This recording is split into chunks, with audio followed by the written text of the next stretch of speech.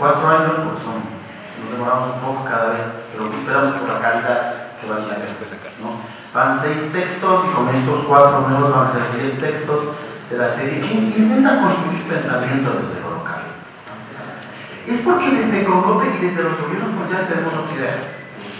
El territorio ya no es esa visión arquitectónica ni física Perdón, no, no quiero ser peyorativo con los arquitectos ni con los ingenieros, pero no encuentro otra frase todavía para decirle esa visión física de espacio físico que teníamos, donde se desarrollaba límites y todo, ¿no? Lo, explica, lo explico mejor escribiendo en, en, uno de los textos que se va a publicar, que es en cambio de territorialización de política pública. Pero hay una superación de esa visión del territorio. Ahora lo, lo concebimos como una construcción social de ese espacio físico. Territorio es determinado y es un determinante de las relaciones sociales que se dan ahí.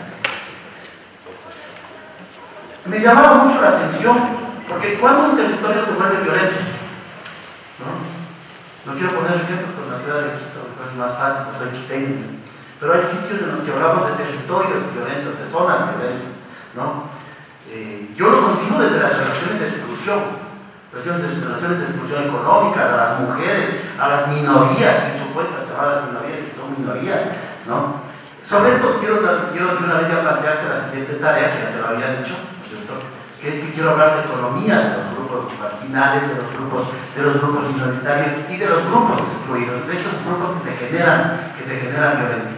Cada vez que uno se adentra va a haber un título sobre economía solidaria, me parece que es, ¿no? Cada vez que adentra en estos estudios de economía de, grupos más pequeños de la localidad, descubre maravillas. Con todo respeto, no es de economía empresarial, no es de economía de las cámaras, es un, marco jurídico excluyente. 300 mujeres ¿no? sindicadas por tema de dos los de comunicación mío me decían que ya pusimos el grito en el cielo una vez en alguna exposición cuando habían sido una noticia de 189. Es decir, no estamos arreglando el problema. ¿no? Como dirían en mi barrio, lo estamos componiendo para peor. Estamos con 300 mujeres así. Y una acusación de alguien que quiere defender, que quiere o, gritar el problema, ¿no? de acusarle de más o menos apología del delito. ¿no? Pues vemos más apología del delito, me parece, cuando salen a defender a los corruptos. Totalmente. Yo sé, soy abogado también, no sé de derecho, pero no puede ir por ahí la discusión en este país. Este, me pareció, no sé si madurez política, oportunidad política o algo, pero la discusión que se dio en Argentina creo que enriqueció muchísimo este problema. Te lo suelto a ti, te lo suelto a ustedes. A ti, Cecilia, sobre todo, pues vamos a seguir siendo parte todavía.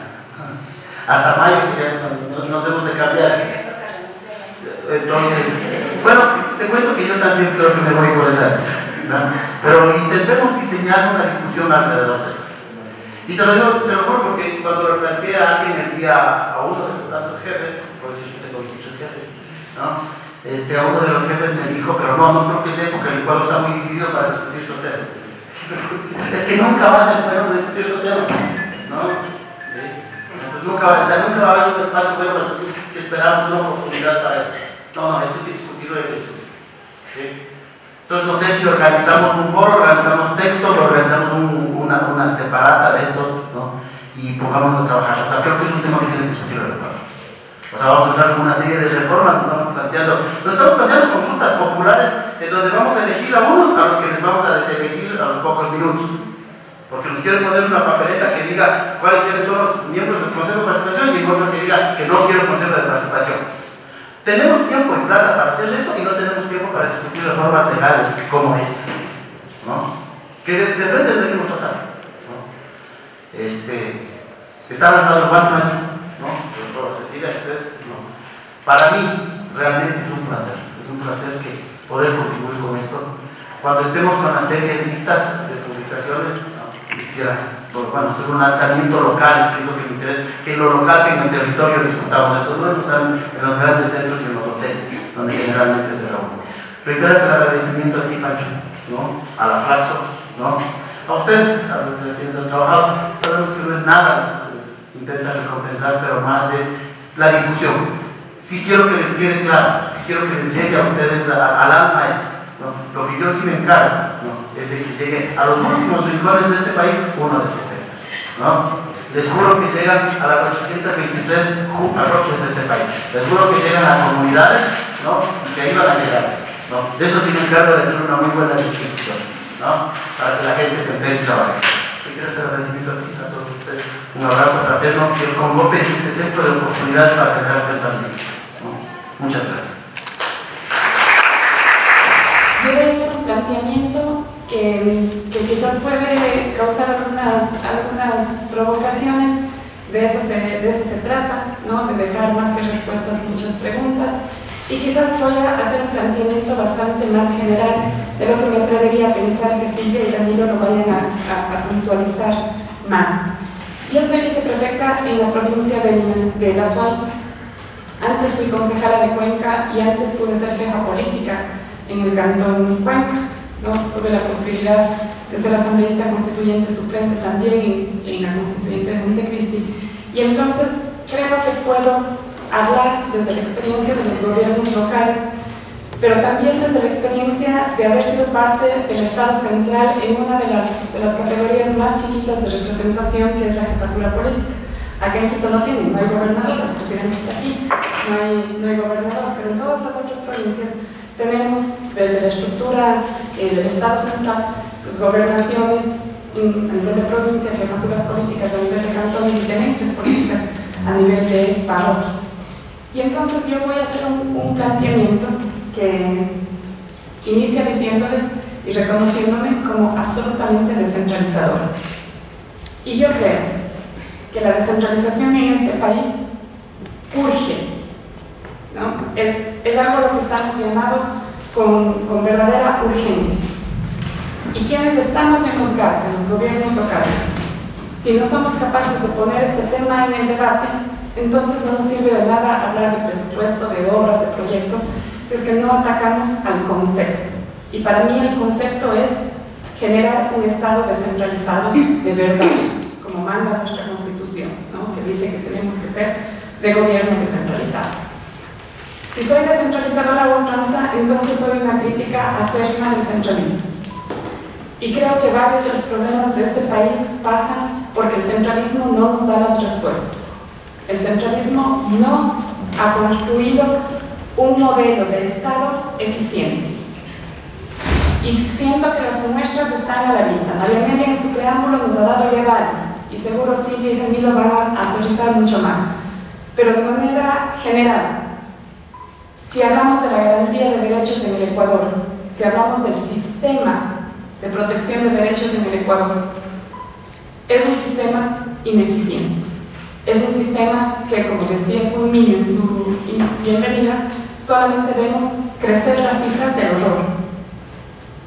Y en el caso del Ecuador, me atrevo a plantear que la década pasada es la muestra de que a más ingresos estatales, no necesariamente mejor calidad de vida y mejores condiciones de derechos. Y creo que la cifra que más nos aterra es la de embarazo adolescente.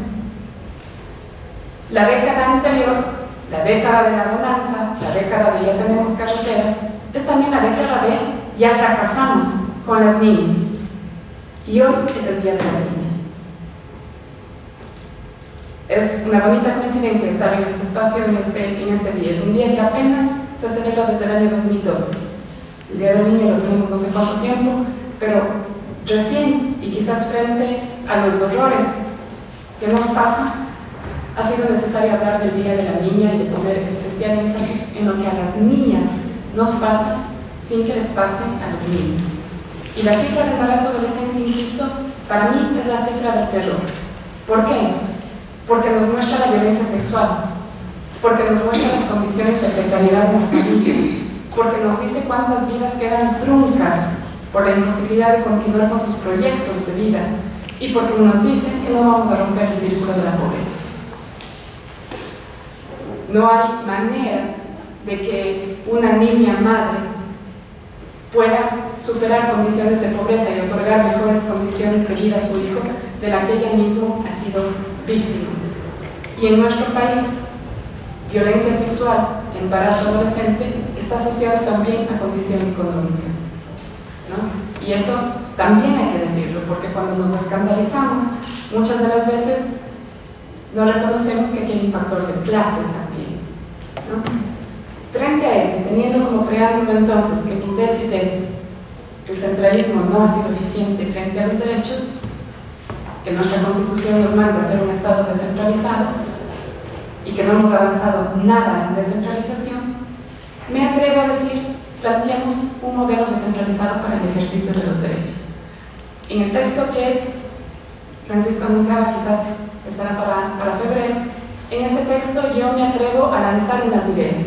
No es un proyecto, el texto no da espacio y seguramente no tengo la capacidad para hablar de toda la política fiscal, lo que significaría en materia tributaria, todo lo que significaría para completar un modelo descentralizado. Pero en la parte específica de derechos me atrevo a plantear tres ideas madres, tres ideas gruesas que es sobre la que les invito a que después podamos compartir. La primera gran idea es que tenemos que entender que los GATS no somos homogéneos y que aunque en el país 224 territorios se llamen municipios, no son homogéneos.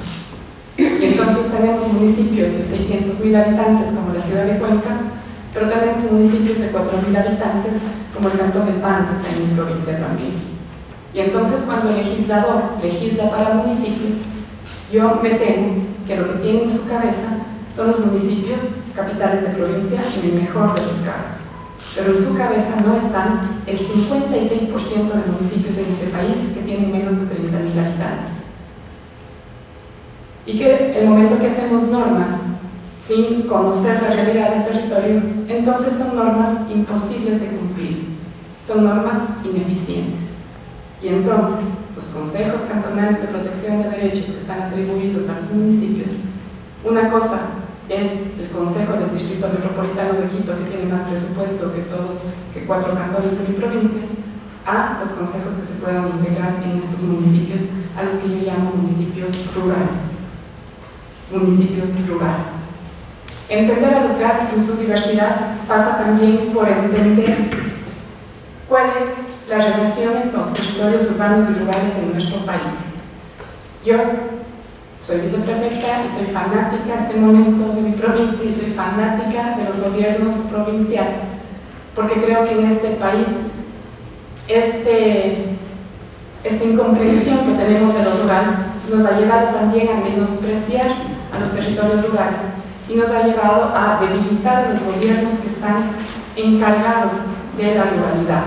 Y entonces, cuando pensamos en descentralización, esto lo sostengo igual en un libro que, que, está dentro de la serie de derechos y territorios que, que se publicó anteriormente, cuando pensamos en descentralización, yo digo pensamos en clave urbana.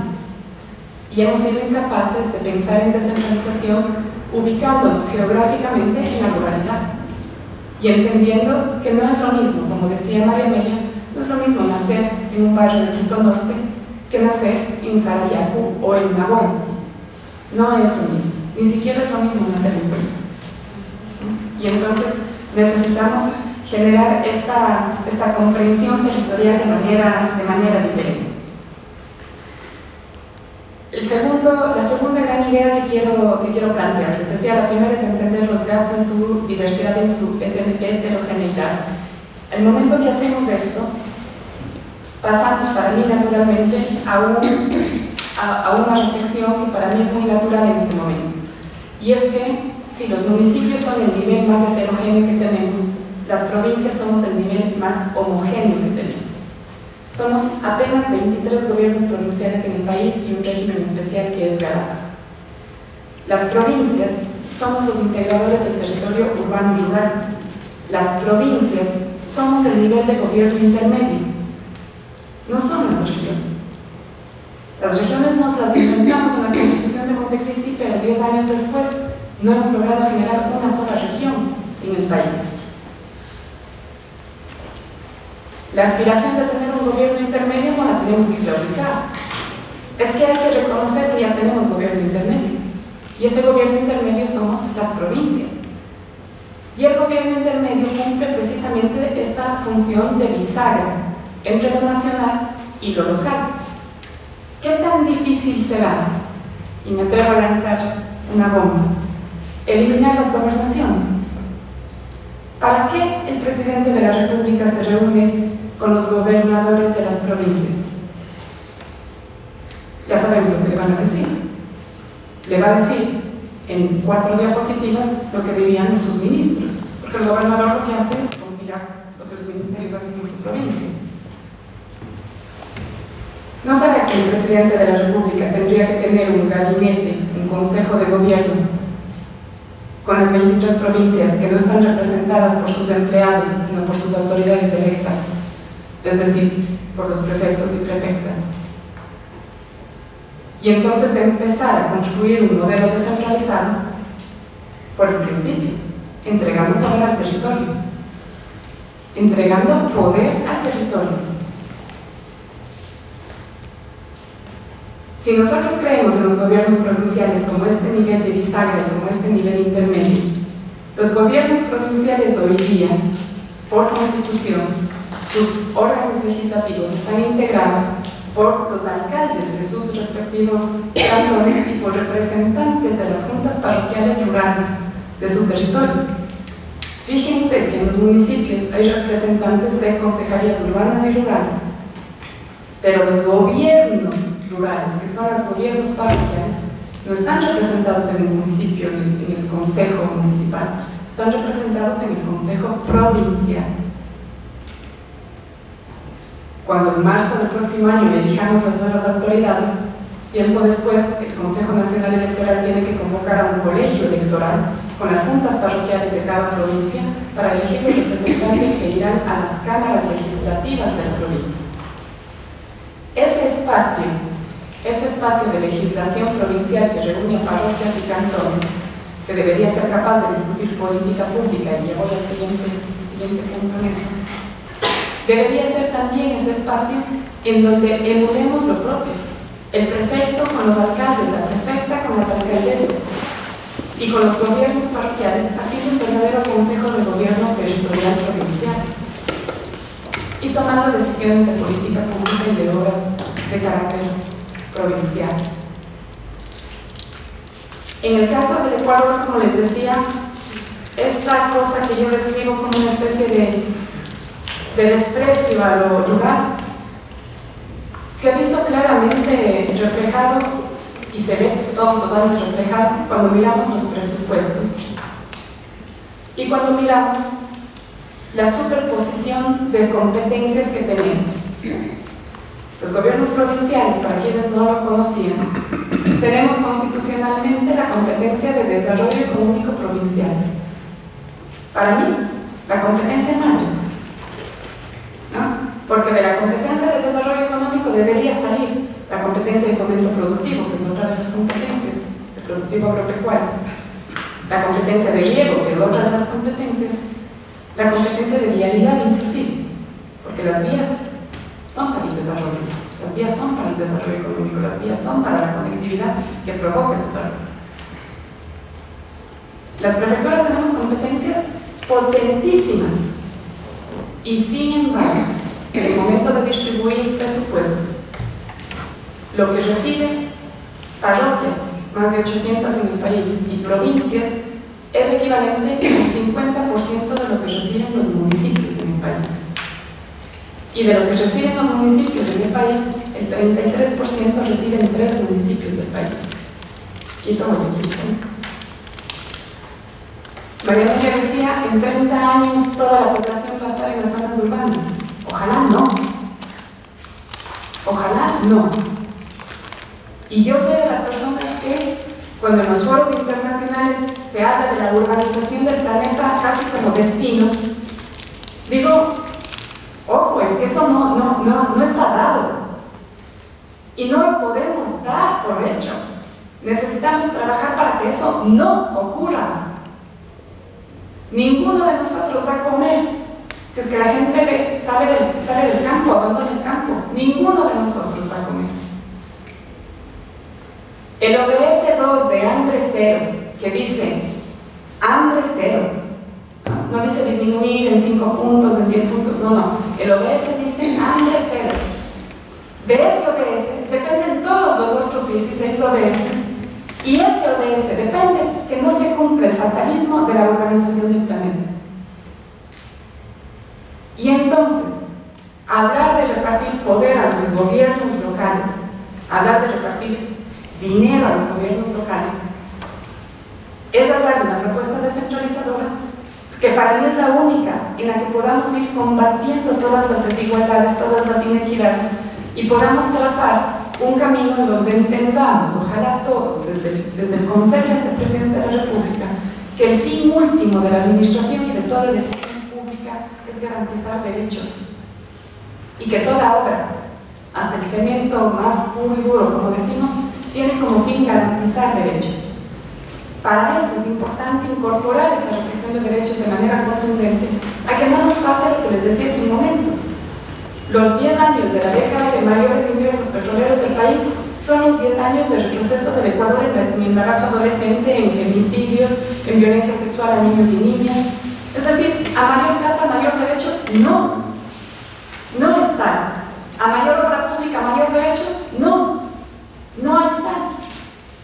Necesitamos hacer que las cosas funcionen de manera más eficiente y para mí es un modelo descentralizado. Hay que eliminar, para mí, insisto, ya es otra bomba, hay que eliminar todas las oficinas buzón que tiene este país. Y necesitamos reconocer que los niveles de gobierno que tienen competencias exclusivas son esas las instancias con las que se tiene que trabajar. Yo me pregunto, ¿para qué tenemos oficinas descentralizadas del Ministerio de Agricultura si la competencia de fomento agropecuario es de las parroquias, de los gobiernos provinciales. Que tengamos al ministerio rector, por supuesto, por supuesto. Pero ¿con quién tiene que ejecutar la obra? Con los GATS. Es que eso dice nuestra constitución, que somos un estado de gobierno descentralizado. Pero aquí hay que hacer todo un plan de austeridad para quitar al Instituto Aeroespacial del Ecuador. Es decir, no nos atrevemos a desmontar una estructura que la hemos llevado durante años y que es ineficiente, probablemente ineficiente, pero no queremos corregir. La tercera gran idea que les propongo, y con esto voy cerrando, quizás es la la más linda y la más problemática, y ya que las otras eran bastante problemáticas. Pero la tercera gran idea es que yo siento que hablar de este Estado descentralizado y de un modelo descentralizado para promover la garantía de derechos para ser más eficiente, debe partir del principio de que la Constitución nos da el marco, pero nos empuja para que los territorios podamos avanzar. Los derechos, dicen, son progresivos. Siempre deberían ir hacia adelante. Edwin Niño planteaba y decía Nunca va a ser un buen momento para que hablemos de los temas espinosos y de los temas que los políticos rehuimos. Nunca va a ser momento para hablar de la interrupción voluntaria del embarazo, nunca va a ser momento eh, para hablar por lo menos de la despenalización del aborto en caso de violación. Siempre va a haber conflicto. ¿Será que hay algún territorio que está más listo para eso? ¿Será que hay algún municipio o alguna provincia en la que esa discusión se la puede dar. Si la Asamblea Nacional no puede darla, pueden darlos los consejos provinciales, los consejos municipales y empezar progresivamente a cambiar alguna realidad. Yo pensé en esto cuando en una reunión, en un proyecto del que Danilo era parte de empoderamiento político para activistas LGBTI, Compartí con un grupo de activistas en la ciudad de Cuenca y había unas mujeres trans poderosísimas de una parroquia rural de la parroquia rural de Manabí, que eran súper empoderadas y hablaban de los temas de seguridad. Y cuando yo conversaba con ellas y las veía, decía, quizás, solo quizás, puedo estar equivocada, solo quizás en esa parroquia rural en donde las mujeres trans han sido las que han dado pelea por los temas de seguridad, tal vez ahí, en ese lugar, sea más fácil ser mujer trans que lo que es en Cuenca. Tal vez. Porque ellas han logrado un espacio de reconocimiento porque han trabajado por un tema que incumbe a toda la comunidad, porque han logrado resultados y porque ellas finalmente, a través de su necesidad particular, habían resuelto un problema de la comunidad en general. Es decir, puede haber algún territorio en donde la mente y el corazón estén un poco más abierta para, para discutir los temas por fuera de qué dirá la prensa internacional o local. Puede ser que los territorios puedan empezar a generar propuestas y programas y atreverse a ser un poco más eh, vanguardistas y ambiciosos en el, tema, en el tema de derechos. Hay muestras. La ciudad de Cuenca propuso una ordenanza por los derechos LGBTI y la provincia de La Suay también. Y tenemos ordenanzas locales que garantizan los derechos humanos de la población LGBTI. En la provincia de La Suay hicimos una cosa que, a lo mejor hizo mucho, mucho ruido, pero ya el ruido era bueno, y era proponer el matrimonio simbólico de parejas LGBTI. Nosotros no podemos resolver el tema del matrimonio, es un tema de competencia exclusiva del registro civil. Pero dijimos, bueno, hagamos un registro civil a Suayo para quienes quieran eh, firmar ahí su unión. No sirve, legalmente no sirve para nada, para nada sirve. Pero apoya a la causa. Hizo bulla, sí, muchísima. ¿no? Nos sacaron el aire, nos seguirán sacando. ¿no? Pero provocó debate y movilizó pensamiento y, y ideas dentro de, la, dentro de la sociedad. Y me parece que esa es de las cosas que deberíamos pensar. En los países de régimen federativo, las normas eh, locales normalmente van más, más adelante que las normas nacionales. Y tenemos casos en América Latina eh, muy grandes en esto. Yo no digo que rompamos el principio de Estado unitario que tiene el país.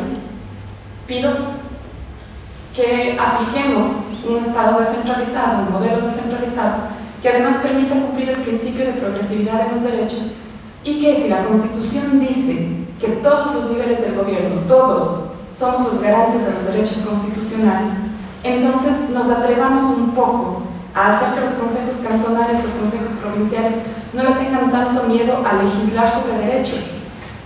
Yo siempre digo, las sesiones de los consejos municipales pueden ser absolutamente aburridas cuando se pasan solo aprobando líneas de fábrica, permisos de urbanización y cosas así, ¿no es cierto? En eso se la pasan todas las semanas. Pero cuando entra una norma de derechos, qué bonito es el tema.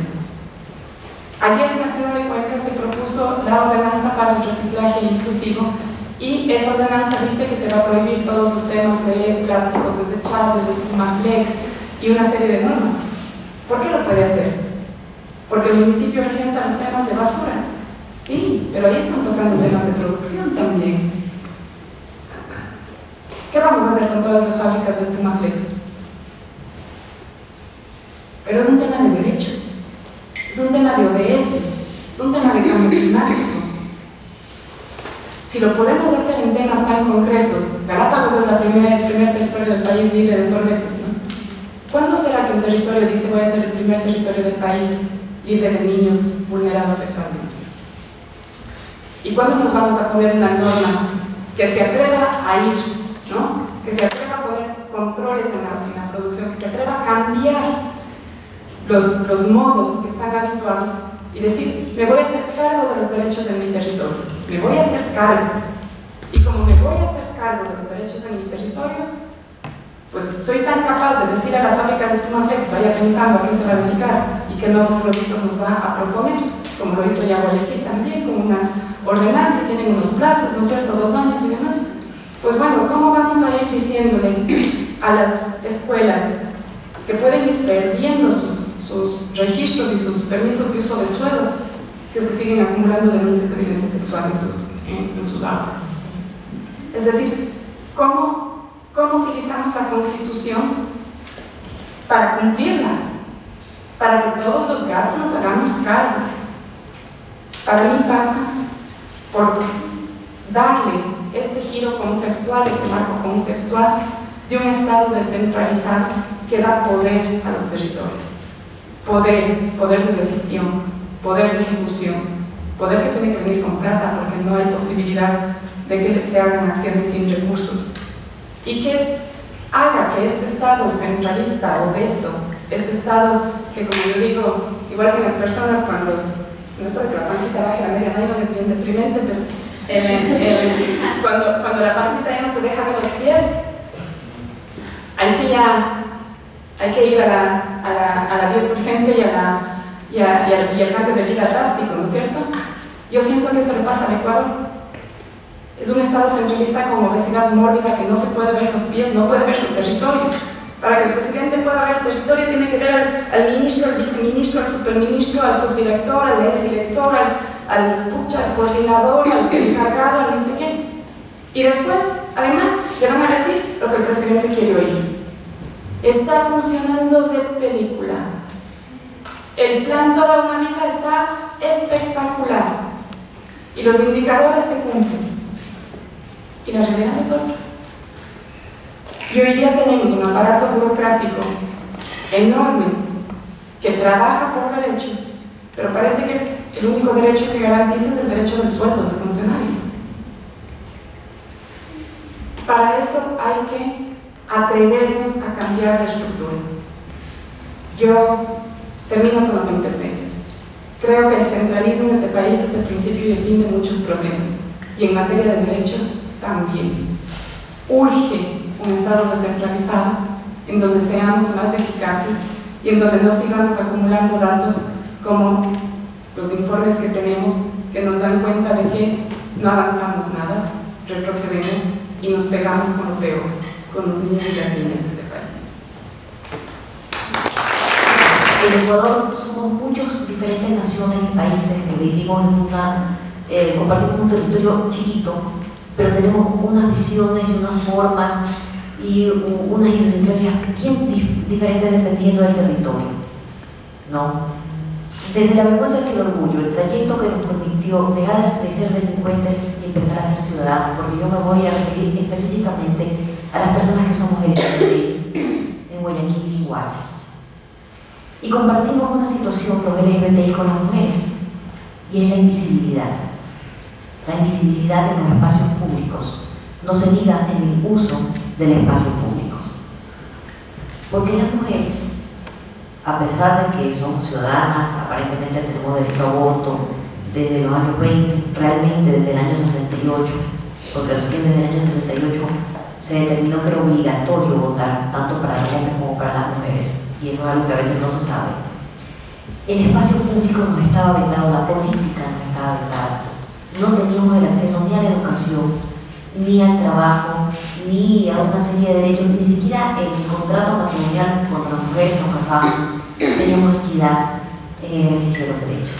Y esto es importante decirlo, porque claro, los LGBTI no éramos ciudadanos, éramos delincuentes. Hasta el año 1997 que se penalizó en nuestro código penal las relaciones sexuales consentidas entre adultos. Pero las mujeres no nos iban tampoco también porque éramos una suerte de esclavas del marido y de una sociedad tremendamente machista, patriarcal, que nos negaba el derecho de hacer política y de decidir sobre nuestra vida y nuestros cuerpos.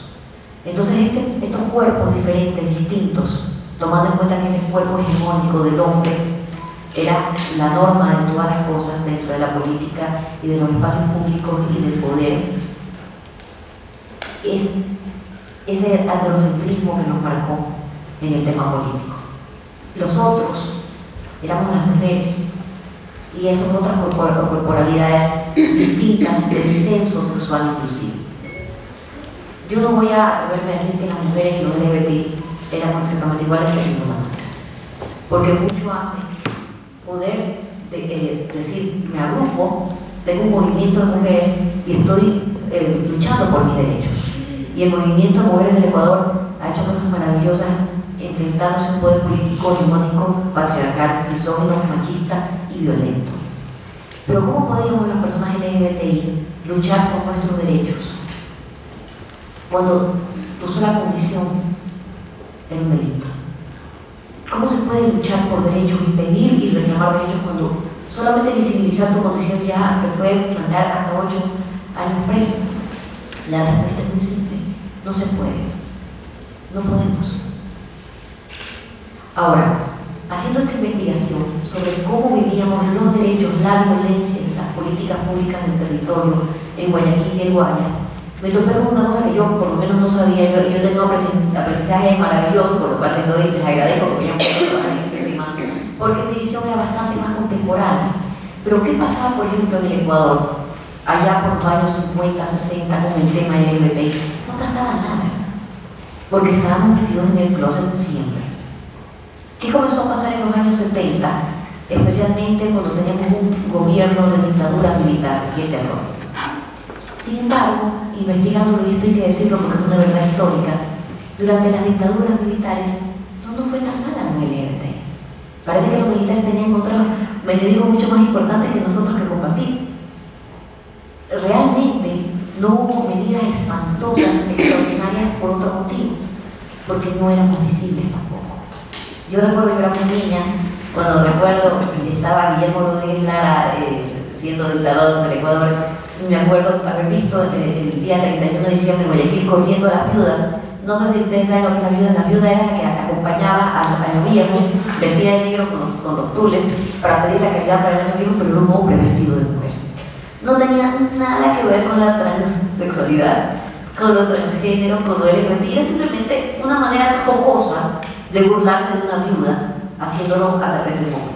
Sin embargo, el general Rodríguez Lara lo prohibió, pero lo prohibió por un tema moral no por un tema de homofobia, homofobia obviamente había, pero era porque qué presión. No, correcto.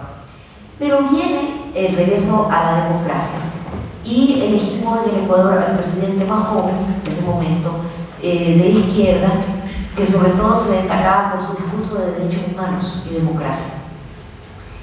Y ahí es cuando empiezo a pensar qué nos pasó en nuestro territorio. Porque así como vino Jaime Rondós a ser el presidente, este es el salón de afiches, yo traje afiches. no van a ver ninguna palabra en letras, es solamente afiches. Adara Bucaram se inicia como intendente de policía en Guayaquil en el año 1980 y tenía apenas 28 años y era jovencito. Era un político súper joven, supuestamente de izquierda, con un presidente que lo puso allí a ser un teniente, intendente de policía. Yo creo que este ha sido el personaje más homofóbico desarmado, violento, patán, agresivo y me faltan, eh, me quedo corta de adjetivos. ¿Por qué? Lo hemos olvidado, pero ahí saqué este recorte de la hemeroteca del universo. Esto es marzo de 1980.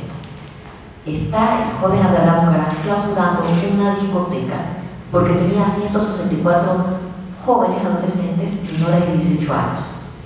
Y eso era solo y Gomorra para él y nos metió, metió presos a todos, a los 164 niños adolescentes, a la cárcel. Entonces cuando fueron la familia, por favor, a pedirle que lo saque, porque además era ilegal, no podía hacer eso, él dijo, solamente lo voy a sacar si es que le piden perdón a Dios a sus padres y van a misa conmigo a la catedral, a pedir perdón por sus aberraciones y por ser tan, ¿cómo es que dijo? Perversos, eh, corrompidos corruptos, yo qué sé. Lo increíble de esta anécdota es que la misa se dio, y se dio en la catedral, y ahí estuvo el arzobispo de Guayaquil, Bernardino Echeverría, con Adalá como que fuera el monaguillo al lado. Estas historias hay que contarlas, hay que difundirlas, porque es importante. Y lo hizo escuchar misa a los 164 jóvenes en la catedral junto con sus padres. Ya. Eh, eh, en los archivos Sí. En, los archivos ni siquiera sé si es que ahí mismo le, firmó la boleta o si de repente lo flageló. Pero esto sucedió en mi ciudad de Guayaquil. Entonces fue una detención arbitraria, fue una eh, detención inconstitucional e ilegal. Y la medida de escarcelación fue absolutamente absurda. Pero Adana Bucarán, su especial énfasis en persecución era contra las trabajadoras sexuales trans, homosexuales y mujeres siendo intendente de policía, le prohibió a sus empleadas que usaran minifalda, estamos hablando de los años 70, finales de los 70, 80, cuando usted nos aprende a vestir totalmente en boga moderna y de moda, ¿no? Pero no solamente se lo prohibió, las dejó, las amenazó con llevarlas presas y las hizo descoser el dobladillo de la falda. Y si tienes una abertura también tienes que coserla a pesar que no te puedes mover, porque la abertura de la falda no solamente es sexy, también sirve para que puedas caminar. Y esto también lo hizo en la calle, cuando salía su operativo iba con los policías y matones, y se veía una mujer con falta la palabra en ese momento, y la obligaba a descoserse el, vestido, el ruedo de la falda. Y esto es lo que nos hemos olvidado, pero nos pasó a nosotros. Y él decía a las mujeres, porque tú lo que quieres es que te violen. Tú estás dando bien. Y yo como intendente de policía tengo que cuidar, protegerte, obviamente. Pero creo que lo, peor que hizo Bucaram fue, esta fue la medida con la que se inició como intendente de policía, es que hizo una redada a trabajadoras sexuales trans de la ciudad de Guayaquil y las obligó a caminar desde el, cuartel modelo hasta el centro, al municipio, en una especie de senda de la vergüenza, como lo hizo la reina de, Juego de Tronos, esta famosa, ¿cómo se llama? Cersei. Exactamente igual que Cersei, solamente que a Cersei, además de insultarle y tirarle basura, no le pasaba mucho más. A esta gente le tiraban piedras, les tiraban objetos contundentes. Y esto lo vivimos en Guayaquil y lo, y lo toleramos en Guayaquil. Pero además, nuestra sociedad de 1980 consideraba a Dalá hombre.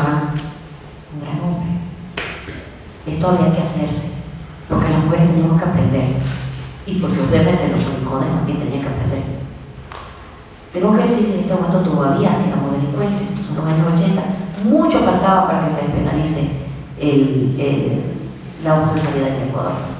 Pero esto, digamos, que fue lo más vejatorio en términos de derechos humanos y de uso de espacio público, de uso espacio público de ciudadanos, porque estoy hablando de mujeres que sin ningún tipo de norma penal las agarraba en la calle y le decía o después de la falda o te vas preso. Y nos pasó. Y nos pasó lo vimos lo vivimos y lo toleramos. Y había seguramente cosas que no le gustaba a cierta clase social y política de hablar Pero esto era una de ellas. Y así nos, nos hizo una serie de cosas que yo no voy a pasar en este momento, porque solamente lo hablaremos de este personaje espantoso no quiero hacer. Pero pasa el tiempo, fue intendente muy poco tiempo, después fue alcalde muy poco tiempo, gracias al cielo, gracias a su corrupción. Pero después vino una época espantosa en el Ecuador, que fue la época de la presidencia de Eufemio Cordero. Y de esto, estos son los escuadrones volantes. Nunca se va a ver suficiente del terror que impartieron estos escuadrones volantes en el Ecuador, también en Guayaquil. ¿Por qué? Porque era policía de élite, súper bien armada y súper bien formada, que lo que estaba haciendo era luchar contra la delincuencia, contra la delincuencia, contra los criminales. Pero ojo, nosotros éramos los criminales. Entonces, las vulneraciones de derechos humanos de personas LGBTI por el solamente uso y tránsito de la vía pública inclusive consta en algunos informes de organizaciones de derechos humanos internacionales. Fue terror, terrorífico. ¿Le importó a la sociedad? No, no le importó, porque éramos delincuentes. O, lo que decía el artículo 506 del Código Penal era sexo, acceso carnal y sexual entre dos hombres del mismo sexo, homosexuales, pero cuando tú caminas por la calle solo y eres una persona, no sé, pues para el concepto estético del policía eres afeminado, tú realmente no estás cometiendo ningún delito. Solamente estás caminando por la calle. Y sin embargo, eran subidos a empujones y apresados. Esto siguió pasando durante mucho tiempo. Y llegó un momento en que ya no había más escuadrones volantes pero la policía seguía metiéndote preso solamente por circular por la calle, no necesariamente ejerciendo el trabajo sexual, no necesariamente siendo LGBTI, bastaba tu estética, tu estética y tu comportamiento. Y claro, a veces el abuso era tan enorme que te giraban la boleta de, de, cárcel diciendo que estaba haciendo algo que realmente no estaba haciendo un escándalo. Pero pensemos que en las mentes de quienes estaban gobernando nuestras localidades, nuestros gobiernos este, seccionales, tu presencia, tu cuerpo, tu corporalidad era un escándalo. Ya eso constituía un escándalo. Bueno, pasó el tiempo y en Guayaquil tuvimos administraciones del Partido Revolucionista Ecuatoriano, Abralá y Socaterro, hasta más o menos el año 92 no terminaron sus periodos porque siempre estaban huyendo por temas de corrupción, eran denunciados, entonces ahí tuvimos una asociación de un año uno, dos años después, etc. En 1992 gana la alcaldía de Guayaquil el ingeniero León Flores Cordero. Venía una presidencia brutal, donde de hecho la idea de los emperadores volantes creo que fue de él. Entonces, ¿qué sucede? Que viene impartir una mano muy dura en el tema de administración y sobre todo del uso del espacio público.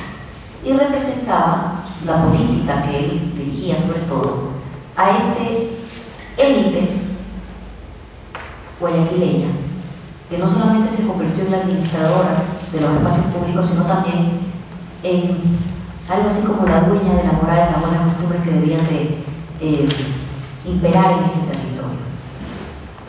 Claro, yo no voy a negar que puso en orden la casa. Yo fui, yo fui, yo trabajaba en el año 90, en plena alcaldía rondocista, en el municipio ni siquiera podía ir a pagar una tasa de prenda. No existían oficinas, no había recaudación, no había una ventanilla. Teníamos que ir al Banco Central a pagar los prediales porque el municipio era una guarida de ratas. No tenían nada, no se podía. Claro, pero Flores Cordero cierra el municipio durante un mes, se encarga de limpiarlo. Había una cantidad de ratas, ratas, ratas animales, de verdad. Casi, casi todas las otras, zoológicamente hablando, gracias Chechi. Las, las otras ratas se fueron, se fueron, se fueron llevando los escritorios, por si acaso. Se fueron llevando las lámparas, se fueron llevando casi todo, pero los animalitos quedaron allí y tuvieron que ser exterminados porque no se puede trabajar así, no se podía trabajar así. Entonces, en efecto, eh, Leonardo Cordero hace un trabajo de limpieza del municipio, un, un, tema de administración puntual, pero también empieza una, una visionaria re, regeneración urbana que implica que Guayaquil tiene que ser un lugar para que venga el turismo. Y el turista, según esta visión, quiere ver cosas bonitas. Y hay cuerpos que no son bonitos. Hay corporalidades que deberían de estar escondidas. Eh, los cuerpos LGBT son de esas corporalidades. Entonces, en esta maravillosa regeneración urbana que hizo, que la verdad que sí le salió bonito, y tuvimos parques de nuevo. Ya no era simplemente un, un parterre ahí con polvo y lodo, sino que ahí ya había arbolitos, habían plantas, permanecían verdes, el césped, las regaba, las cortaba, decían un piso de césped y ya uno pisaba porque antes no había césped. Y todas estas cosas positivas tuvieron un problema enorme y es que se nos prohibió el derecho de admisión a veredas, bordillos, parques y malecones en Guayaquil. Y estamos hablando de que también éramos ciudadanos, no solamente las personas LGBTI, solamente te bastaba que estés de repente con un short muy pequeño o camiseta de tirantes, entonces ya tal vez el turista no quería ver eso, mentira, el turista no importa, pero en todo caso. Esto fue un problema enorme y entonces ahí empezamos las organizaciones sociales, por primera vez en Guayaquil y en serio, a pelear por el uso del espacio público. Porque nuestra ciudad antes era un basurero, la verdad que era un basurero, pero nadie nos estaba impidiendo pasar por ciertas partes, o sea, realmente. Y ahí las organizaciones tuvieron mucho que decir también con el tema del LGBTI, porque ya en noviembre del 97, en plena alcaldía de León Ferrer Cordero, se despenalizó finalmente la homosexualidad en Ecuador. Sin embargo, esto no le importó demasiado.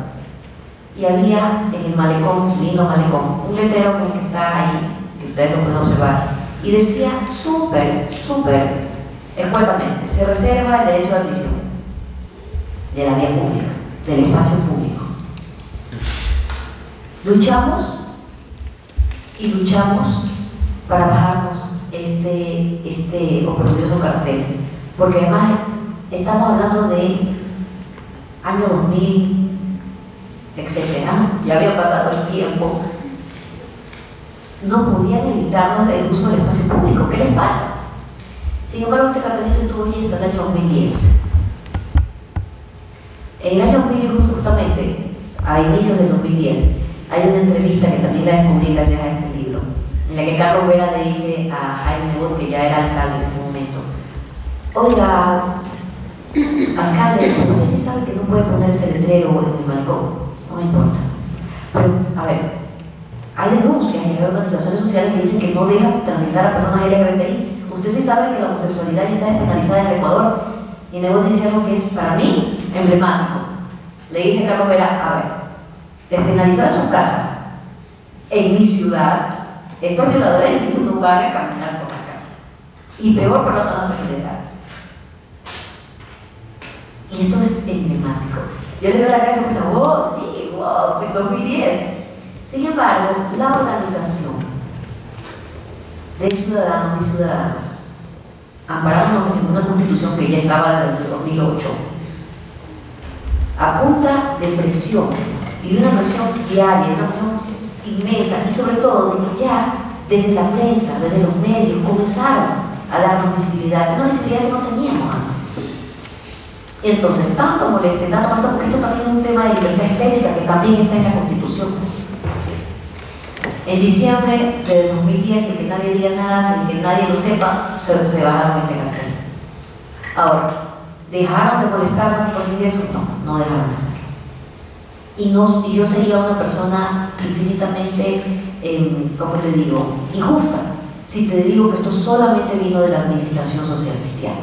No fue así. Tuvimos un gobernador en el año 2005 que fue Guido Chiriboga, ya fallecido, fue un gran gobernador, una gran persona. Él venía del centro izquierda, pero sin embargo Chiriboga un día se le ocurrió hacer el operativo Caballero Rosa. ¿Y qué hacía el Caballero Rosa? Lo mismo que los socialcristianos igualito. Pero, y aquí es importantísimo resaltarlo, las organizaciones sociales los medios de comunicación, comenzar a hacer política en serio, comenzar a, evidenciar lo que nos pasa, visibilizarlo, alzar la voz, gritar, empoderarte de tu derecho, saber a qué tienes derecho, pegarte pico a pico los grandes debates con los metropolitanos y los policías y comenzar a decir, ¿sabes qué? No me vas a seguir pateando. Desde el año 2006 más o menos comenzamos a pedir que nos permitan hacer el desfile de la marcha del orgullo.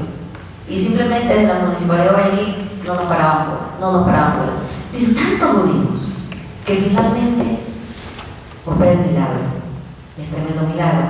Ustedes ven esto, es ni más ni menos que la carta con la que el secretario municipal de ese momento, Vicente Callado, nos autoriza por primera vez después de años de pedir la, marcha del orgullo en la ciudad de Guayaquil. Pero fíjense por favor en las manos. Cuando a mí me llegó se me cayó para atrás.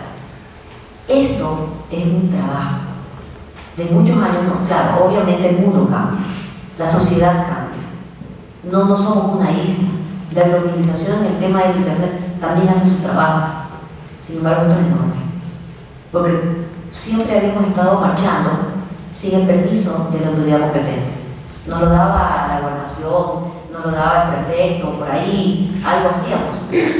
Pero el, dueño del circo no dejaba que los payasos salgamos a, las marchas de la calle con nuestros colores y nuestros... Porque de nuevo, nuestros cuerpos, nuestras estéticas. Y en el tema de estética es importantísimo resaltar también la organización de mujeres feministas, que ya también por esta época comenzamos a decir, no importa cómo nos vistamos, tenemos derecho a transitar por la calle y hacer uso del espacio público porque es nuestro. Comenzamos otras organizaciones también desde las marchas de las puntas a pedir también estas autorizaciones. Si les das a los LGBT, a mí también me vas a dar. Y la marcha de las puntas es pura y dura reivindicación del derecho a la libertad estética. Y también lo conseguimos. No te puedes quedar en estos símbolos, porque a veces es simplemente pinwash. Mira qué inclusivo que soy. Mira, no me parezco a Lázaro, soy peor que yo. Yo ya, ya estoy mejor. Y es verdad, claro, es verdad. Esto a mí me gusta. Viva el pinkwashing porque por lo menos nos evidencia, no es suficiente. Porque se queda simplemente en, en, el maquillaje, en lo externo, en la manita de pintura encima de la pared que está podrida. Necesitamos políticas públicas. Necesitamos políticas públicas. Lo simbólico es hermoso, pero también necesitamos desarrollo desde proyectos Ahora, también tengo que decir que ya pasó desde el año pasado, agosto del 2017, conseguimos finalmente nuestra ordenanza LGBTI. No se llama ordenanza LGBTI, se llama Ordenanza para la Igualdad entre los Géneros la prevención de la discriminación y la erradicación de todas formas de violencia basada en géneros. Pero háganme el favor, hablar de género en Guayaquil es súper difícil. La gente tiene pánico a la palabra género. Escuchan género y están armando sus marchas antiderechos. Con mis hijos no te metas, te vamos a convertir en gay, no, queremos eso. Esto es un acto de valentía política, esto es un acto de voluntad política enorme. Porque ya teníamos una ordenanza del prefecto del año 2012, que es más o menos de la época de, de Azuay, de Cuenca, ok. Pero al prefecto no se pudo, no, no le dejaron poner la palabra género. Y bueno, claro, hablar de discriminación, etcétera, etcétera, chévere, pero aquí está nuestra palabra emblemática, importante, nuestra bandera. Y si tú la lees, es una muy buena ordenanza.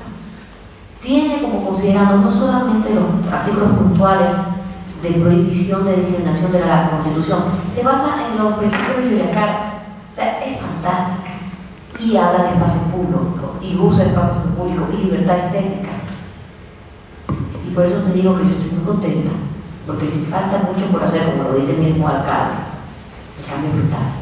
Es tan enorme que parece que estamos hablando de dos partidos diferentes, de dos personas diferentes. No, el mismo alcalde que decía que no puede permitir que violadores de niños transiten libremente por la calle, es el alcalde que firma esta ordenanza. Y es el alcalde que ahora para las marchas. Nos pone las lucecitas del arco iris en el monumento más emblemático que tiene la ciudad de Guayaquil y el más gay también. Bolívar y San Martín. Esto, esto simbólicamente significa muchísimo, pero va acompañado de una política pública, de una visión diferente y de tener la voluntad política, la valentía de decir esto tiene que pasar. Y yo no digo que el voto sea homofóbico, yo creo que todavía no es porque es muy difícil cambiar generacionalmente, tradicionalmente, toda tu crianza, tus valores, cómo viste la, vida desde siempre. Pero déjenme decirlo que cuando las personas antiderechos de Guayaquil comenzaron a recaudar firmas, recolectar firmas para quitarle el cristiano al partido cristiano, y le hicieron la entrevista de que por qué no ponía las lucecitas a los LGBTI en la, en la rotonda, y él dijo, yo soy el alcalde de todos. Y en Guayaquil no se debe discriminar. Y yo no puedo estar de acuerdo, no puedo estar de acuerdo. Pero una cosa es clara, Guayaquil es una ciudad inclusiva y no puede discriminar a nadie. Y yo saludo ese mensaje, porque ese es el mensaje que nos va a llegar al futuro, al siguiente paso, aquí en el país y en el mundo. Muchas gracias. Cuando pensemos el derecho a la territorialidad, tengamos en cuenta que eh, no solamente debe ser pensada desde quienes piensan en la creación de política pública desde el escritorio o quienes desde la academia reflexionan y piensan mucho en cómo debería ser la aplicación de esta también desde los escritorios. Así que el hecho tan maravilloso de que quienes defendemos eh, los derechos, y en este caso desde quienes desde el activismo estamos en las calles, y estamos atravesando las diferentes formas de violencia en el día a día, podamos plasmar a través de un libro nuestras experiencias, sobrepasa lo simbólico y creo que es algo digno de reconocer, así que muchísimas gracias también por eso. Eh, yo me había querido preparar de la mejor manera dentro de los nervios, esta es mi primera vez, a mí me encantan las primeras veces, creo que todo el mundo, eh, sobre todo porque hace algún tiempo atrás yo le tenía un, un cierto... Eh, no quisiera decir rechazo, pero tenía un poco de miedo a estos temas académicos, me sentía muy distante, ¿no? como muy, muy alejado, pero claro, cuando te dicen, te queremos invitar a escribir eh, en, un, en, un, libro tu experiencia sobre las cosas que has venido trabajando, realmente a uno le ponen a reflexionar desde el otro lado, porque merece mucha preparación, eh, merece tener una gran experiencia por medio, y este documento que ustedes lo verán plasmado ya para eh, inicios del 2019 es una reflexión que si bien sale desde el trabajo que he venido realizando, pero que lo he venido también trabajando con el apoyo de muchas personas, de grandes activistas, a través eh, de las cuales podemos, y hemos hecho esta compilación interesante.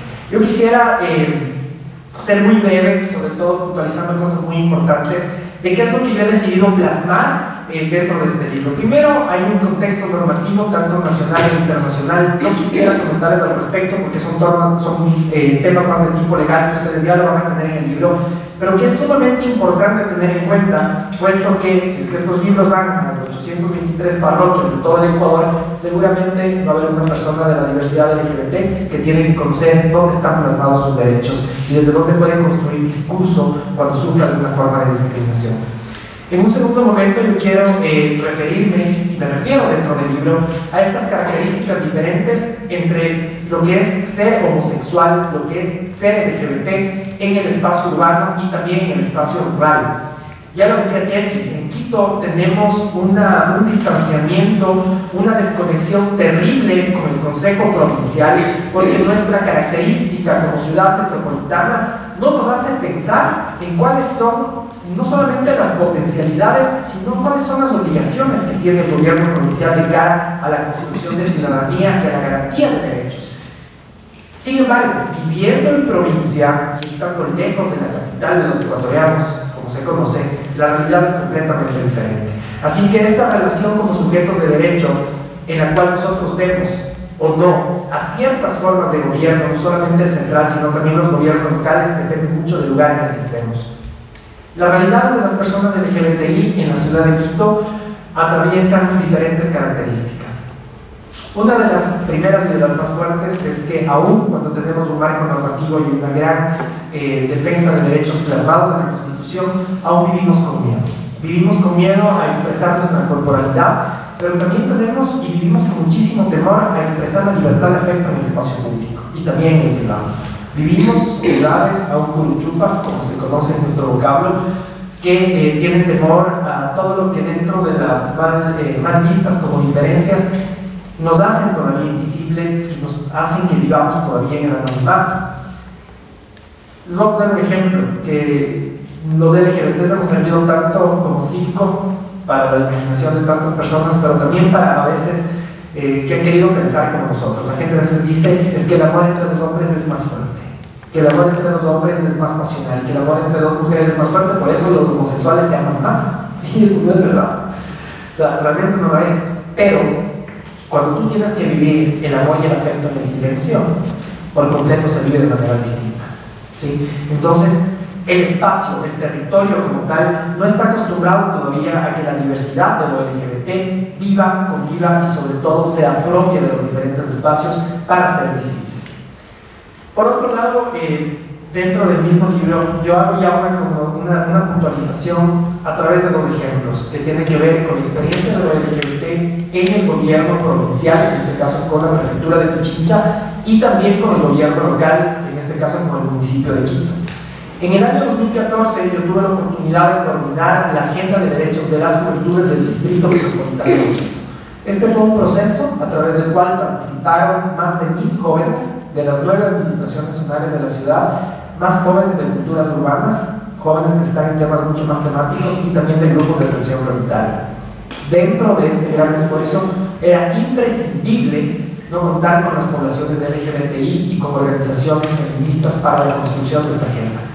Se elaboró un documento realmente espectacular, un proceso que duró aproximadamente ocho meses de trabajo entre la, la ejecución y sobre todo la sistematización de este insumo que fue entregado al alcalde de la ciudad y que en la implementación de este trabajo no se hizo ni el 0.1% durante los cinco años de gestión.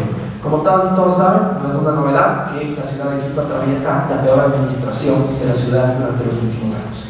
Y eso, claro que tiene que ver con el territorio, porque tiene que ver con los derechos de las personas LGBTI, pero sobre todo tiene que ver con todos los grupos históricamente marginados de la ciudad la creación de la política pública como tal no solo tiene que ver con qué cantidad de ordenanzas, porque la política pública a nivel de la localidad se traduce en ordenanzas, se crean. Cuantas más ordenanzas tengamos, es verdad, es mucho mejor, es más reivindicativo. Pero si estas ordenanzas no vienen acompañadas de presupuesto, y si estas ordenanzas vienen acompañadas de equipo de trabajo, de equipo técnico, que permita hacer este canal de interacción con la sociedad civil, realmente son ordenanzas que quedan plasmadas en la letra y en letra muerta en la garantía de derechos de las personas LGBTI en el Ecuador y otros grupos de atención prioritaria ya tenemos bastante. Un ejemplo de esto, lo que pasa con las clínicas de deshomosexualización en diferentes territorios del Ecuador. Sin embargo, una vez que se genera esta construcción de este, eh, esta agenda, agenda de los sueños, la famosa agenda de los sueños del Distrito Metropolitano de Quito, también teníamos en cuenta de que otra de las competencias que viene directo del COTAD y que Cheche Alvarado es experta en esto y que nos decía todo el tiempo, tienen que saber cuáles son las competencias del COTAD, es aquella que tiene que ver con un mecanismo de participación ciudadana y que aterriza en las juntas de protección de derechos. ¿sí? Los, diferentes, eh, los diferentes cantones en el país empezaron a trabajar unos de una manera mucho más rápida, otros de una manera un poquito más lenta, pero resulta que esto fue de los últimos. ¿Esto qué quiere decir? Nuevamente, en la pésima gestión que nosotros tenemos de la ciudad en cuanto a los derechos, ¿sí? los consejos de protección de derechos a nivel del Distrito Metropolitano de Quito, que también incluyen poblaciones de LGBTI, cometieron otro terrible error en cuanto a la creación de este espacio. Y lo hablo con conocimiento porque yo fui el representante transitorio de los grupos LGBTI. Las temáticas de ciudad, hablando ya más puntualmente dentro de nuestra territorialidad, cumplen características temáticas y territoriales. Los grupos de atención prioritaria, cuando trabajamos en la defensa de nuestros derechos, lo hacemos de la misma manera. De manera territorial, es decir, en mi barrio. ¿Cómo me organizo yo con las personas con cuales convivo en mi localidad y exigimos alcantarillado, exigimos obra pública? ¿sí? Pero por otro lado, también nos reunimos y nos autocolocamos para exigir derechos, para exigir menos discriminación, para exigir presupuestos que nos permitan mejorar nuestra calidad de vida a través de acciones concretas en planes o proyectos. Sin embargo, la creación de este Consejo de Protección de Derechos en la ciudad de Quito tuvo en cuenta una sola manera, y esta tenía que ver con la forma territorial en la que supuestamente las organizaciones eh, trabajan a nivel de la ciudad. Fue un error terrible, puesto que las personas de LGBTI dentro de la ciudad de Quito no estamos organizadas a nivel de territorio. Nosotros trabajamos a nivel de templo.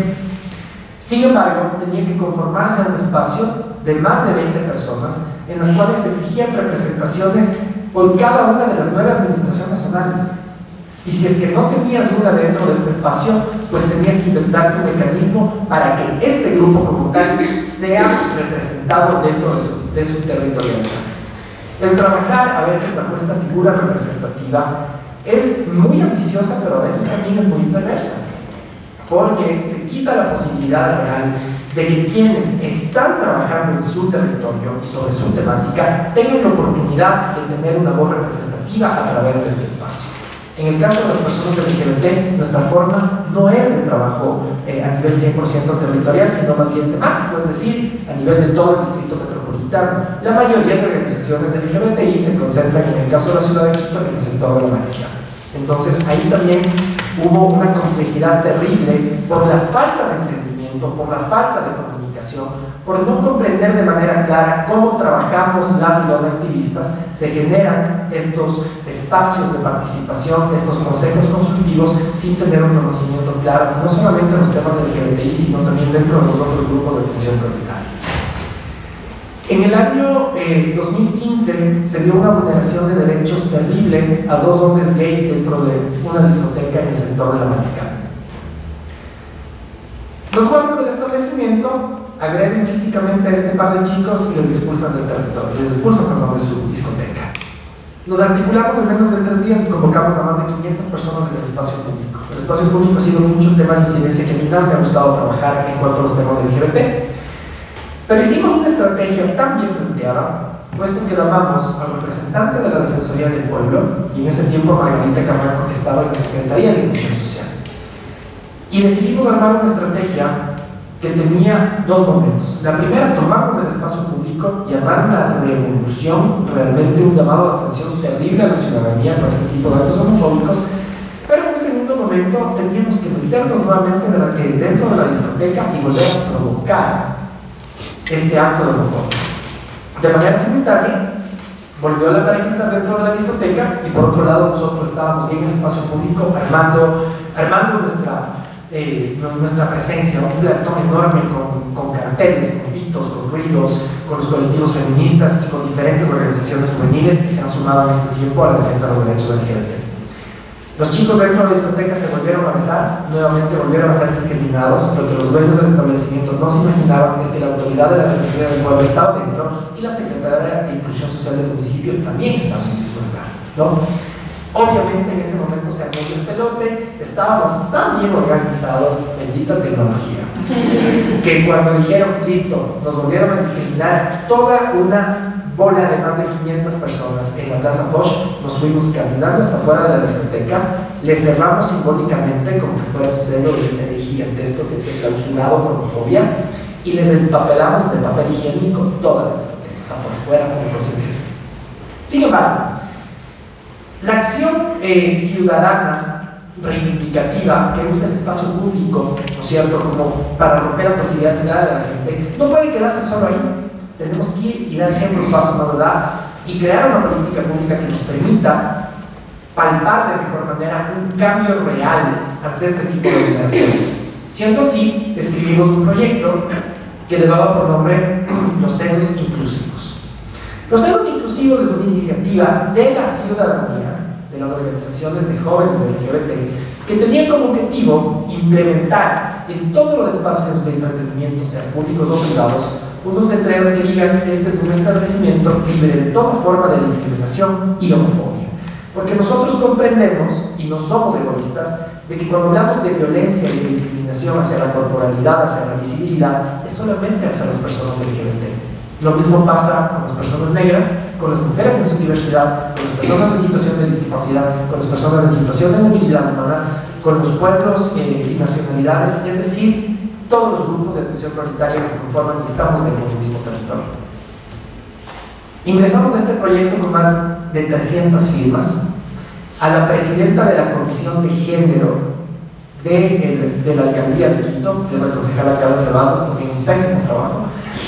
La verdad, no hemos tenido los grupos de atención prioritaria apoyo por parte de el Consejo Metropolitano, son salvos las personas que, que, realmente han hecho de pronto un elemento diferenciador, pero quienes han tenido el deber de trabajar en la creación de política pública que mejore la calidad de vida de las personas, de los grupos de atención prioritaria, realmente no ha existido. Y por eso, con conocimiento, yo lo digo libremente y como no lo había pedido, si no sentiría temor de poder decirlo, manifestar. Cuando entregamos este documento, ¿no es cierto?, que dé paso a la creación de este proyecto, existió una transición, el alcalde decide sacar a la secretaria de Inclusión, en ese tiempo Margarita Carranco, y cuatro una nueva persona. Empiezan los diálogos todo el tiempo, es decir, vengan colectivos, vengan activistas, presentémonos, digamos que podemos hacer. Perfecto. Hay que trabajar siempre con institucionalidad, hay que trabajar siempre con la persona que esté en un cargo de toma de decisión, porque la política pública también se debe construir en su aterrizaje de corresponsabilidad. Si la ley está escrita y nosotros no nos empoderamos de la misma, sigue siendo de ¿no? Entonces hay que tenerlo muy claro. Pero bueno, empieza entonces la implementación de los famosos sellos inclusivos por parte del municipio de Quito. ¿no? Y en esa reunión de trabajo me dicen, eh, vamos a implementar un proyecto eh, maravilloso que se llama los sellos inclusivos.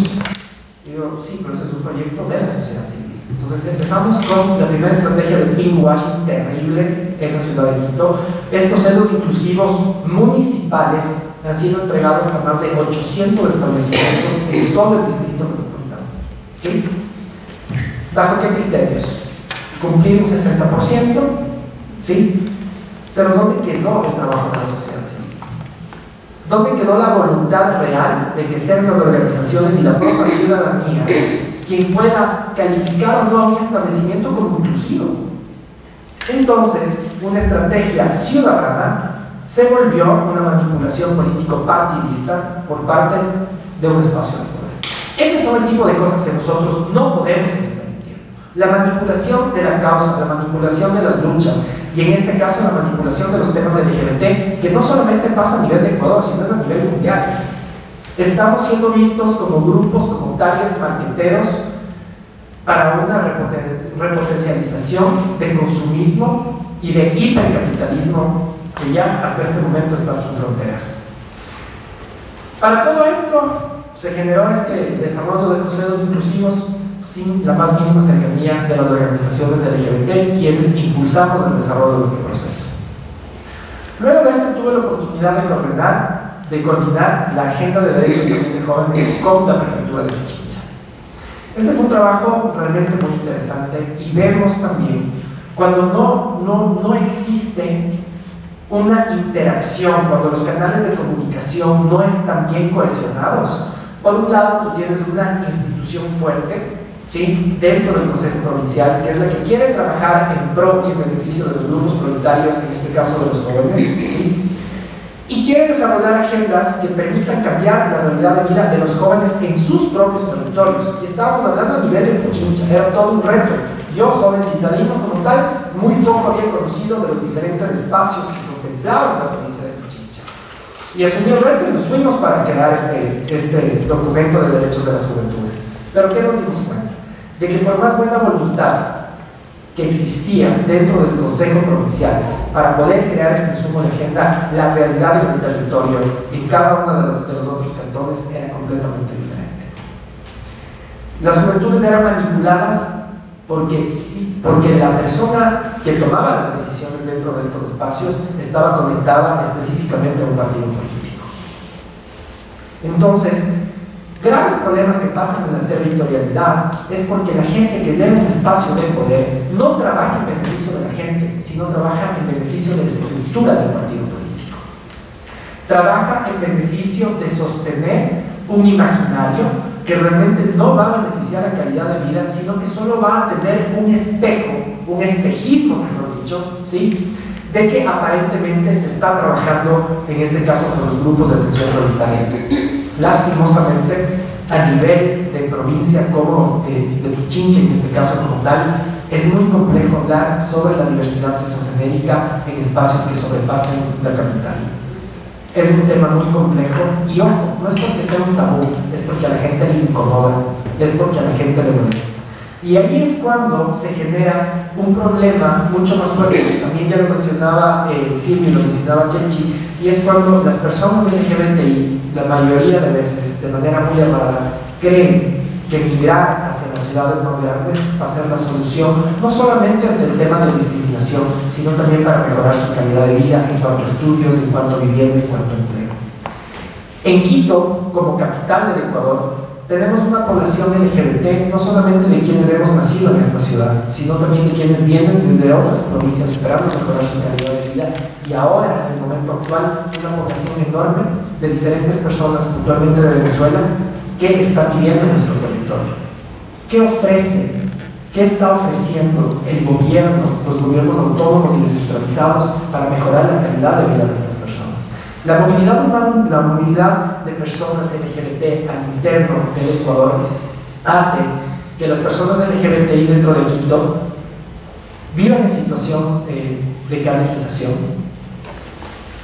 tengan trabajos informales o realmente no tengan empleo, aumente el trabajo sexual de manera alarmante y por ende aumente el número de cantidad de personas viviendo con VIH. Entonces, esta lógica de querer, llegar a, de querer llegar a las ciudades para mejorar la calidad de vida, en realidad no es, eh, no es real, no es como todas las personas piensan. Para esto, tienen que los, los gobiernos autónomos y descentralizados activarse y generar algún tipo de acción puntual y concreta que dé solución a este tipo de vulneraciones. Y eso lo van a ver también de una manera mucho más, eh, mucho más detallada en, dentro de mí. Para todo esto nosotros veíamos también que es sumamente importante pensar en la participación política de las personas LGBTI en los espacios de toma de decisiones. La democracia en el Ecuador tiene una deuda enorme con nosotras y nosotros. ¿sí? Los espacios a través de los cuales nosotros y nosotras hemos podido optar por una candidatura han sido muy pocos. ¿sí? En los últimos 10 años, la cantidad de personas LGBTI que han compulsado y han sido parte de los procesos democráticos han sido contados por los dedos. En el año 2017, tras una investigación, evidenciamos que eran 15 personas de la diversidad sexual quienes se atrevían a soñar con llegar a la Asamblea Nacional. 15 personas autoidentificadas, pero también había un grupo muy grande de personas LGBT que no querían que esto sea público.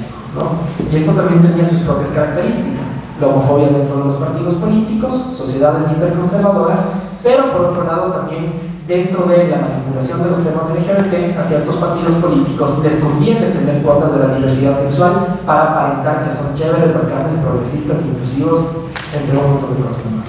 Ante lo cual nosotros también tenemos que estar muy atentos. Pero ¿por qué la participación política es importante? Porque durante todos los años, y en el tema, por ejemplo, de, de las mujeres y lo que le costó a las mujeres llegar a la paridad, tuvo que pasar muchísimo tiempo para que esto pueda ser una realidad. Pero yo les pregunto, ¿la paridad garantizó una representación real? ¿La paridad ha dado como tal un espacio de poder fuerte en la toma de decisiones para las mujeres en la incidencia política? Yo creo que sí, pero no al 100%. En el caso de las personas del LGBTI sigue siendo de hecho menor. Por eso es que activarnos para la participación política es importante. Y que si es que esto tiene que ser competencia de los gobiernos autónomos y descentralizados, por supuesto que sí. Los gobiernos autónomos y descentralizados, dentro de las líneas de participación ciudadana, también les compete el abrir espacios para la formación, para el diálogo y para la construcción de propuestas que permitan que las personas del LGBTI, dentro de sus propios territorios, puedan ser parte de los procesos de cambio que, a nombre de lo político, permitan una representación real en cada una de sus localidades. Quiero eh, concluir en estos últimos eh, cinco minutos. Toda esta información ustedes lo, van a poder ver en el libro y espero me disculpen si es que de pronto me he saltado de un tema a otro. eh, tiene eh, también mucho que ver, y que lo puntualizo en el libro, con la famosa década perdida para las personas del LGBT. Este va a ser el tema con el que yo quiero eh, finalizar. Durante los diez últimos años, en el tiempo del gobierno de Correa, no solamente eh, vemos en este momento con claridad sobre todo el tema de corrupción, mentiras, engaños, etcétera, etcétera, etcétera. Pero pensando específicamente en las condiciones del LGBTI, personalmente escribo y manifiesto mi total porque para nosotros no fue ninguna década ganada, más bien fue todo lo contrario. Nosotros éramos un grupo de amigos, y quiero ponerles ejemplos muy puntuales. Nosotros éramos un grupo de amigos hace 10 años, de hecho un poco más de 10 años, que éramos aproximadamente casi 20 adolescentes jóvenes, estábamos entre los 17 y los 20 años. Un grupo de pedalitos nos tomábamos la Plaza Foch en ese tiempo, cuando la Plaza Foch recién daba sus primeros pasos, y era de lo más normal ver a las personas LGBT disfrutar del espacio público, disfrutar de su corporalidad, disfrutar de su diversidad. Diez años después, en la ciudad de Quito, no hay un solo establecimiento en el espacio público donde nosotros podamos manifestarnos con libertad. Y es que no puede ser de otra manera. Tanto influyó en el Ecuador tener a una persona tan misógina, tan machista, tan homofóbica, que lo que hizo fue que regrese todo lo que en un proceso se avanzó y que la figura del macho ecuatoriano tenga la posibilidad de reforzarse y de reafirmarse en su condición de dueño de la vida de las mujeres, pero también dueño de una masculinidad hegemónica que volvió a invisibilizar todas las formas diversas de vivir las masculinidades y que nos quiere decir a nosotros también como homosexuales cómo debemos ser para no parecer. Es que no pareces gay.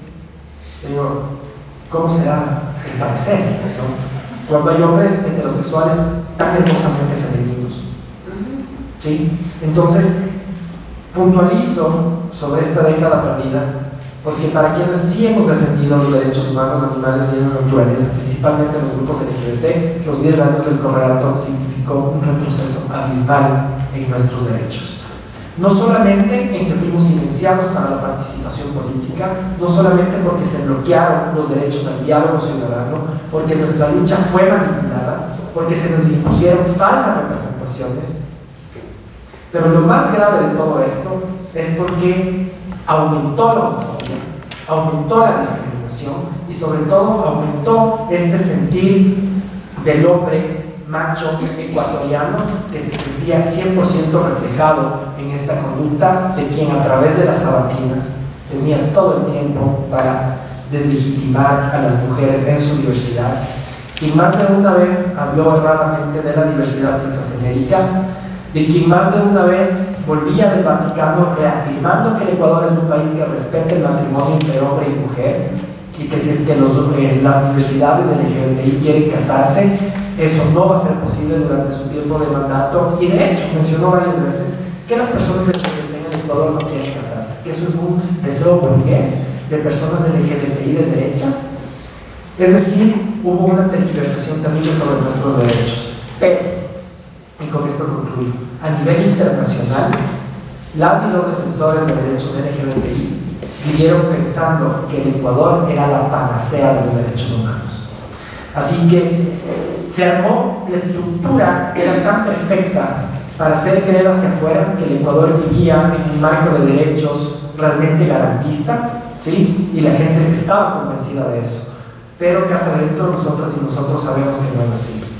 Qué importante entonces es el territorio que garantiza los derechos de las personas cuando le permite a la ciudadanía ser un partícipe directo y constante en la creación de la política pública, en la decisión de los presupuestos que se asignan, pero sobre todo en la ejecución. Y aquí hay que tener en cuenta que también está escrito en el libro, por cierto, la vinculación del Ecuador hacia la alianza de los gobiernos americanos, cual va a dar un giro trascendental en el trabajo de la sociedad civil con los gobiernos locales para poder ejercer una ciudadanía más plena, más garantista de derechos, pero sobre todo que permita a la diversidad ser parte de los procesos de cambio. Muchas gracias.